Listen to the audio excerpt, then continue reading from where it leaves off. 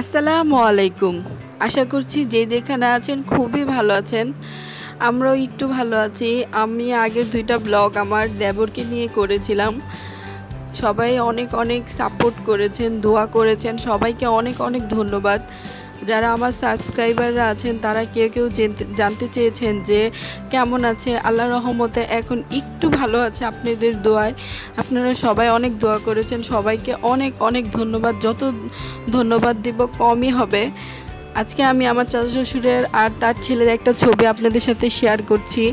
এই যে দেখতে পাচ্ছেন, আমার চাচা শ্বশুর খুবই একজন ভালো মানুষ। আমাদের পাশে সব সময় ছিলেন।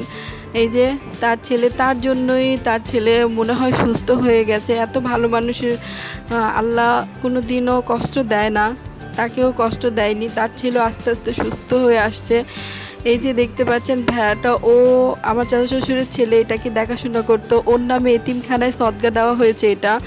ও এখনও হাসপাতালে লাইফ সাপোর্টেই আছে। সবাই অনেক দোয়া করেছেন। অনেক অনেক ধন্যবাদ আপনাদের সবাইকে। এই যে তারপরে দেখতে পাচ্ছেন রামিদা তার বান্ধবীর সাথে খেলছে। এই যে চাচ্চুর জন্য রামিদা নামাজ পড়ে দোয়া করছে, যেন চাচ্চু তাড়াতাড়ি ভালো হয়ে যায়। আমি আমার মেজু চাচু শাশুড়ির বাসায় ছিলাম। এই যে সে মাছ বোনা করেছে, ডাল রান্না করেছে, কাঁকরোল ভাজি করেছে আর চিকেন রান্না করেছে। তার হাতের রান্না খুবই মজা। আজকে এখানেই থাকব খাব, দাবো, তারপরে এই যে দেখতে পাচ্ছেন, খুবই মজার মজার রান্না করেছে। চিকেন দিয়ে আলু দিয়ে রান্না করেছে। তারপরে আমি একটু সবার জন্য চা বানিয়ে নিব। আমার শ্বশুরবাড়ি আমার আম্মু এসেছিল। সবার জন্য একটু রং চা বানিয়ে নিচ্ছি। এখানে আমি সব ধরনের মশলা দিয়ে দিচ্ছি। এখানে দারচিনি, এলাচ, লবঙ্গ, গোলমরিচ দিয়ে, তারপরে এখানে আমি লবণ দিয়ে দিয়েছিলাম। এখন একটু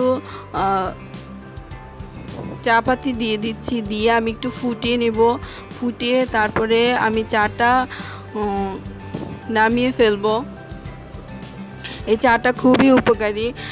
আমার হাজব্যান্ড হাসপাতাল থেকে এসেছে, তাকেও একটু দিয়েছি। এই যে এখানে আমি একটু বলে দিচ্ছি, এখানে একটু চিনি দিয়েছি, যার যার স্বাদ মতো চিনি দিতে পারেন। একটু লেবুর, এক টুকরা লেবু দিয়ে দিচ্ছি।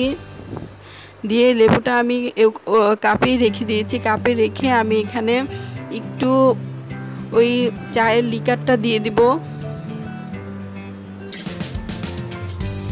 এই যে এভাবে আমি সবগুলি চা বানিয়ে নিব। খুবই মজা লাগে চাটা আর খুবই উপকারী একটা চা। এই যে আমি সবার জন্য বানিয়ে নিয়েছি, আরও বানিয়েছিলাম, সবাই খেয়েছে। আজকের জন্য এখানে শেষ করছি। আমার পরিবারের জন্য দোয়া করবেন। এখানে